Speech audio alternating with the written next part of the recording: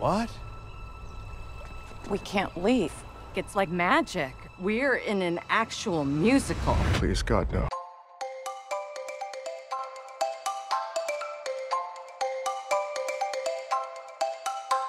Oh, Wow.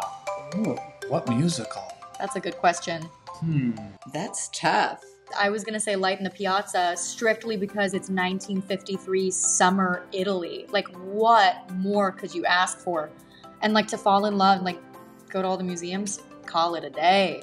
When I, high school Cinco thought he was Pippin, you know, like really identified with Pippin. The song Extraordinary was like my theme song, you know, and that was the one I would sing alone in my room because I thought I was special and was trying to figure out my place in the world, you know. Minus the tuberculosis, I wouldn't mind being in uh, the turn of the 20th century bohemian Paris. It seems like a very romantic place to be, minus the uh, disease.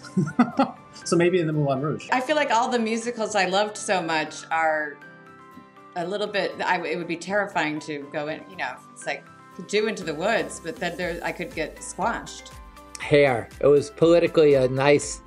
Uh, it was a politically a time I embraced. I'm gonna say Avenue Q. I'm not so sure I would do so well, like in Victorian London.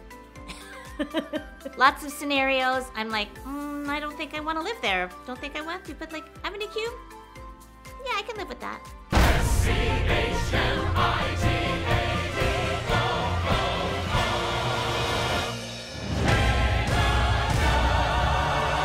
We're in a musical, okay? Nobody gets killed in a musical except Oklahoma and Carousel and South Pacific. Oh, hello, West Side Story. That's all the musicals.